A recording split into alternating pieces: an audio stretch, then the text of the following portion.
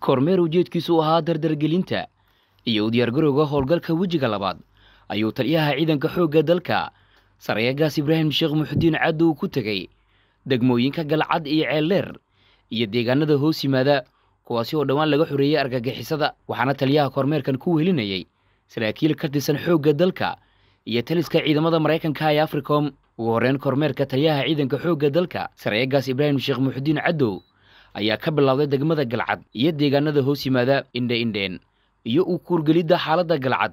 Taliyaha ayaa geesiyaasha xoogga dalka ee ku sugan degmada galcad ee gobolka galgaduud ku booqday difaaca ay kaga sugan yihiin degmada waxaana sidoo kale taliyaha uu tegay isbitaalka guud ee degmada galcad.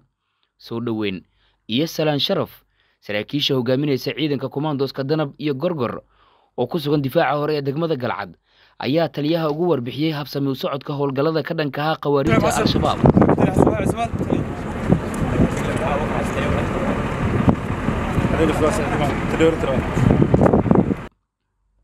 Sarayagaas ibraahim sheekh muxudiin taliyaha ciidanka xoogga dalka oo la hadlay saraakiisha iyo ciidamada jilbaha u dhigtay difaaca galcad ayaa ku bogaadiyey ciidanka shaqada adag ay u hayaan qarankooda soomaaliyeed isagoona kula dardaarmay inay sii laba jibaaraan waajibaadka adag ay gudanayaan ciidamadu.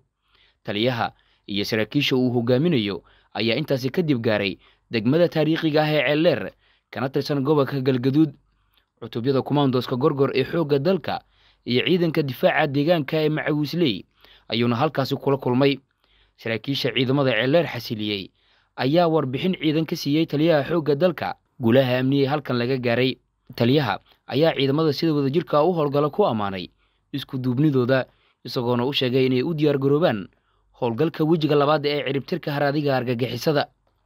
Taliyaha ciidanka xoogga dalka sarayagaas ibraahim sheekh muxudiin ayaa si dardar leh ku bilaabay isku dabaridka howlgallada dalka looga xoreynayo khawaariijta waxaana dhowaan la filayaa dalka oo dhan in si isku mid ah ay ugu wada bilowdaan howlgalka wejiga labaad ee uu ku dhawaaqay.